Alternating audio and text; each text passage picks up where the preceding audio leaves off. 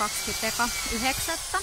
Täällä porataan seinään reikää. Otetaan mikrobinäyte tuolta kylpyhuoneen seinän takaa, että onko sinnekin valunut mahdollisesti vettä sieltä kattovuodon yhteydessä. Niin siinä pitää ensin hirsi, hirsi vähän rikkoa ja sitten päästään sen jälkeen sitä paikkaamaan.